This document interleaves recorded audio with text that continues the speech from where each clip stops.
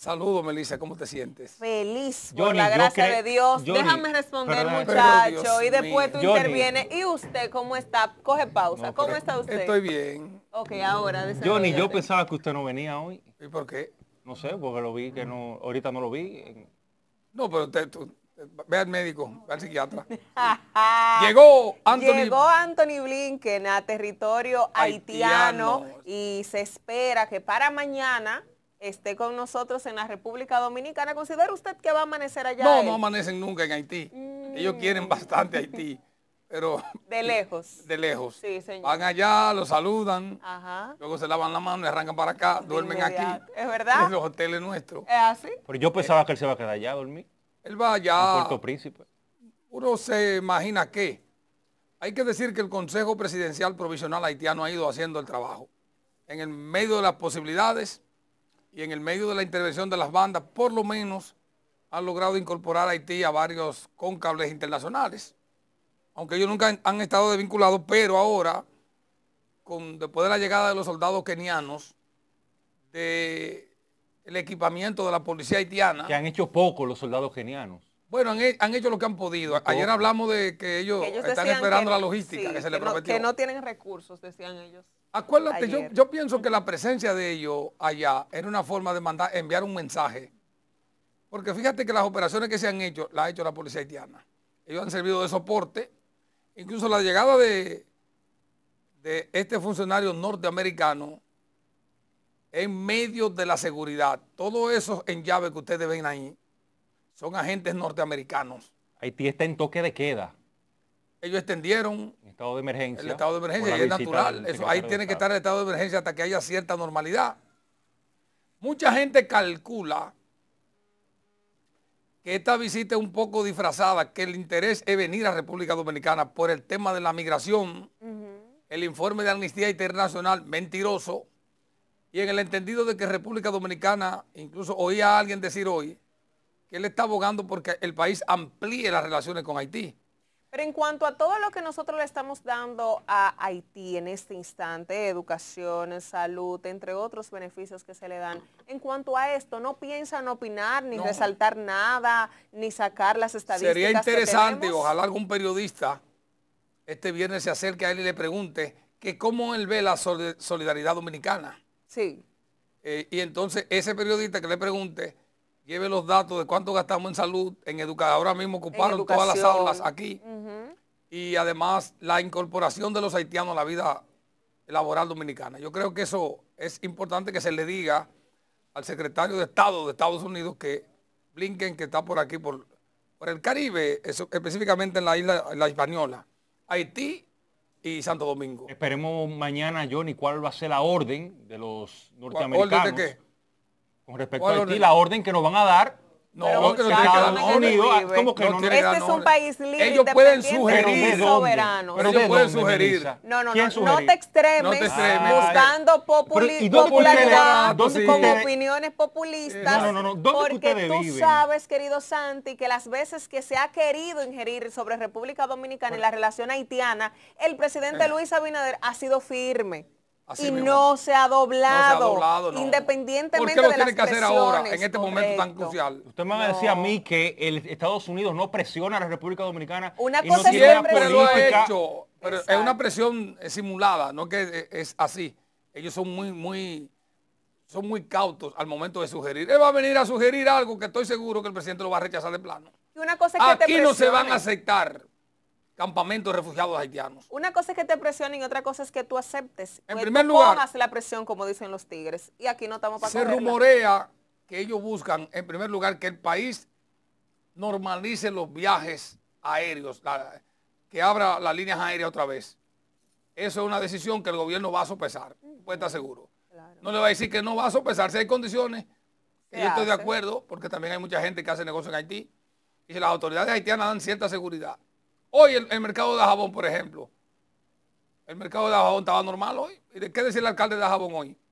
Bueno, yo no le garantizo a nadie que haga negocio. Ellos abrieron el mercado de ellos de aquel lado ya. Los haitianos lo abrieron ya. Y ese mercado de, de cabo haitiano, ese mercado tiene muchos productos dominicanos. Si, hay, si la policía haitiana da seguridad a los comerciantes de que vayan a vender sin problema, la gente va. Se puede. Porque lo que hablábamos hace unos días de, las relaciones que hay en la frontera, de familiaridad, de hermandad, entre los haitianos que compran y venden y los dominicanos. Eh, ahí puede venir cualquier gobierno que cierre la frontera, eso siempre se va a dar. Por un asunto de demanda. Ellos necesitan comida y nosotros tenemos comida para vender. Ellos manejan tres monedas, el peso dominicano, el GUR, que es el peso de ellos, la moneda de ella y el dólar. Nadie puede rechazar ese, comercio, siempre y cuando sea en el marco de respeto mutuo, de mutuo acuerdo y de conveniencia de ambas partes. El país no puede cerrarse a eso, porque hay mucha gente que vive en la frontera de eso. Él va a venir, nadie adivino, su agenda nadie sabe, uno especula a que él vendría. Ellos siempre mandan a alguien, aquí tuvo la jefa del Comando Sur, que es una señora. A bajar línea. Pero ¿qué problema tienes tú? A bajar línea, yo. A intentar ah, bajar líneas. Ah, una cosa es que se intente y otra cosa es que el listín diario, El listín diario, eh, cuando ocuparon, incautaron el avión de Maduro, aclaró que el gobierno dominicano ni el Ministerio Público tuvo la operación para incautar el avión de Maduro en territorio dominicano. Porque ellos lo hicieron vía diplomática. Ellos lo mandaron una carta a las autoridades autorizando eso. ¿Tú crees que eso es así? Independientemente de que ustedes dicen que nosotros somos un patio de Estados Unidos, pero tampoco se actúa así. Ellos, ellos agotan. ¿Usted cree que ellos no hacen lo que ellos. Ellos agotan los cánones. Pero Fidel, que era el Maduro, Fidel iba allá a la ONU. Fidel iba a la ONU y ahí tronaba. Chávez iba a la ONU y tronaba. No, todo el mundo es Fidel. Saddam Hussein iba a la ONU porque son organismos, son eh, espacios que hay fuero. Es decir, el que habla ahí tiene que tener garantía de que no le va a pasar nada. Él viene aquí por la vía, por la vía amistosa y hay que recibirlo. Aquí viene una misión, aquí se invitó al, gobierno haitiano, no se invitó a la toma de que ellos no vinieran, pero se le invitó. Y se le iban a dar la facilidad en el aeropuerto para que vinieran. Lo que pasa es que ellos querían condicionar de que abriéramos el aeropuerto para todo el mundo. Y hay un embargo hasta cierto punto, una suspensión, el gobierno no, dijo que no. Ustedes tienen que venir, nosotros le garantizamos el vuelo, el, aeropuerto y todo y toda la logística que se le da a todo el mundo. Todo lo que tiene claro, si usted lo rechaza es un problema suyo. Porque independientemente de que tenemos una confrontación con Haití, nosotros tenemos que ser diplomáticos porque hay, ojo, hay si nosotros asumiéramos otra posición, tuviéramos como está Chávez, como está Maduro, aislado, aislado, y cada día recibe más, más rechazo. La República Dominicana no está en condiciones de eso. Primero, aquí no hay dictadura, aquí hay libertad. Aquí la única amenaza que tenemos es la, amenaza haitiana. La migración irregular. Que el gobierno, después que esto se normalice, va a tener que poner un tope a las visas haitianas. Este año vamos a dar 3 mil visas, por ejemplo. Ay, pero se acaba el negocio yo. No, no, pero, pero, pero es que hay que caerle atrás a eso. Eso hay que acabarlo, ¿eh? Porque o, si no lo acabamos, no vamos a tener nación. Mañana aquí los, dominicanos no van a encontrar ni ni dónde sentarse. Y hay que estar claro en eso. Bueno, por otra parte, en ámbito local, el Senado de la República Dominicana ha iniciado un proyecto para seleccionar los nuevos integrantes del Pleno de la Junta Central Electoral 2024-2028, cosa que ha traído como mucho tema de conversación este es que Tiene que ser porque ya la comisión la preside el senador del PRM por la provincia de Peravia, Julito Furcal, uh es la que yo conozco bastante bien. Y hay que hacer las ponderaciones porque creo que la Junta debe estar seleccionada mínimo en noviembre. Es lo que se dice. Hay un sector que entiende que se debe quedar el actual presidente de la Junta. Vamos a ver cuál será la ponderación que se harán de otros aspirantes que deberán someterse, porque es una terna que se somete y el Senado la aprueba. Creo que Félix Bautista es también miembro de esa comisión. Hay varios legisladores está Ramón Rogelio Genao, entre otros. Pero como es un congreso que inicia una nueva gestión y el gobierno, y ya la Junta cumplió, pienso que la Junta no, no, quiso ir, como que no fue, a una invitación que se le hizo, porque la Junta quiere también participar en la reforma constitucional. Y yo digo que los jueces de la Junta pudieran ser oídos, los miembros del Pleno, pero no necesariamente hay que, se le escucha, pero no necesariamente hay que aprobar lo que ellos pidan.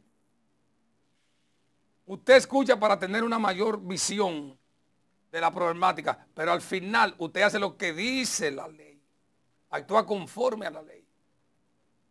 La Junta Central Electoral, que yo no sé si lo hizo bien o lo hizo mal, creo que hizo el trabajo que debió hacer, pero vamos a ver. Johnny, ¿qué usted opina sobre, bueno, el gobierno en el día de ayer eh, comunicó que le va a entregar 100 mil pesos a los familiares de las víctimas del accidente en Asua, en las yayas de Asua? Es una forma de compensación, ya los muertos están y los heridos están. Usted, Nadie hubiese querido que ocurra esa tragedia. ¿Usted cree que usted está de acuerdo que premien la imprudencia? No, no. Es que, mire, incentiven usted tiene un concepto, la falta de educación. Usted es un comentarista de pacotilla. Usted tiene un concepto Nadie está hablando que están comprando, ni mucho menos. Mira, es un gesto. Aquí hubo una desgracia, una Pérez. ¿Pero qué gesto, yo? Pero, pero qué vaina. No se puede gesto para los que estaban bebiendo romo en el medio de la, de la, carretera. Hermanos, son seres humanos y están heridos. Bueno, me duele. Tú sales a una parranda con tu familia y tiene un accidente. No, pero eso es diferente. Pero, pero, pero, lo mismo, hermano. Ellos provocaron su muerte. Lamentablemente, la ignorancia. la ignorancia. Eso, esto no va a caer bien. Esto, lo que yo voy a decir no va a caer bien. Es que eso no es premio, es todo lo contrario. Tú tienes que ver la parte humana. Tú pareces un hombre que no te va a pasar nada. Ojalá y tú te mueras sanito. Espérate. Si un primo mío está bebiendo en, en, plena carretera que se lo lleva un camión. No se puede. Yo no quiero seguir ya. Señor, usted tiene que irse a la parte humana. Esos muchachos, probablemente la mayoría, cuando tú ves la edad, son inmaduros. Aquí hay hombres de 30 años que son inmaduros.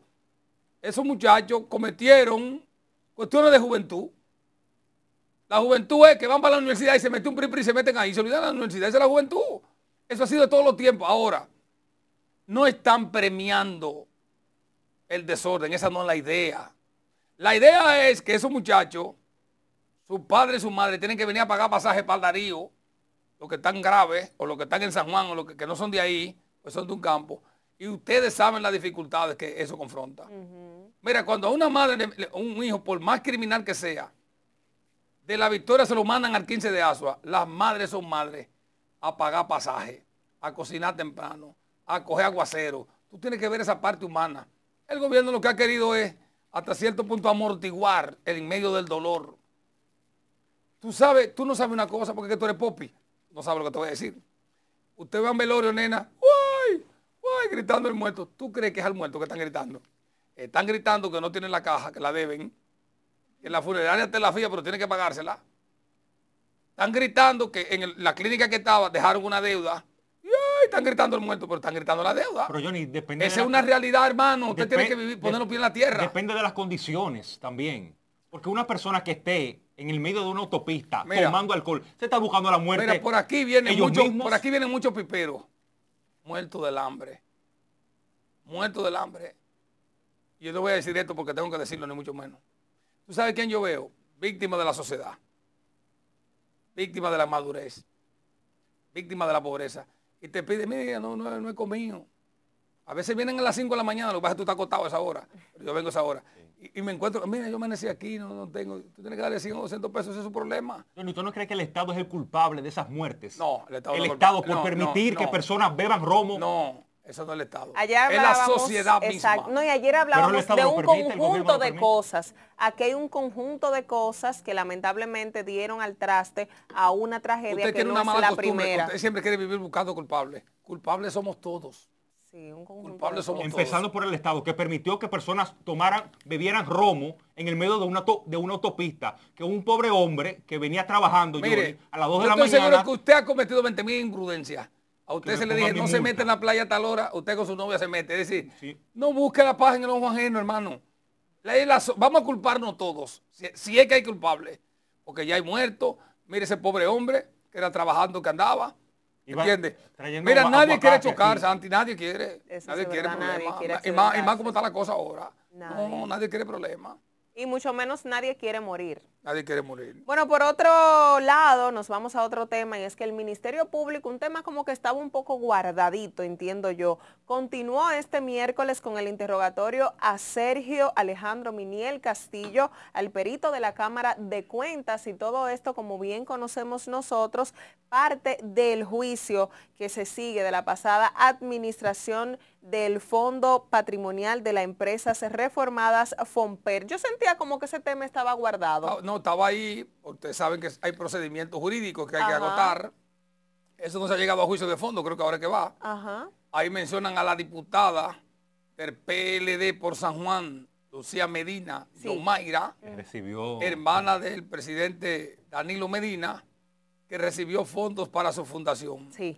La fundación de ella estaba en la calle Colón, entre la calle Capotillo y la Wenceslao Ramírez. Le recuerdo perfectamente porque ahí cerca está la barbería del gringo donde yo me pelo. Me recuerdo cuando voy a San Juan. Era muy activa esa fundación.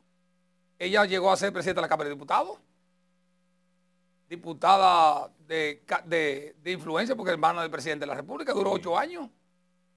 Eh, se le inyectaban recursos, se le inyectaron a muchos, pero imagínate, hermana del presidente, ¿quién le va a decir a un lugar que llega un hermano del presidente que no? Aprovechó esa influencia y se. ¿Ustedes recuerdan la mochila?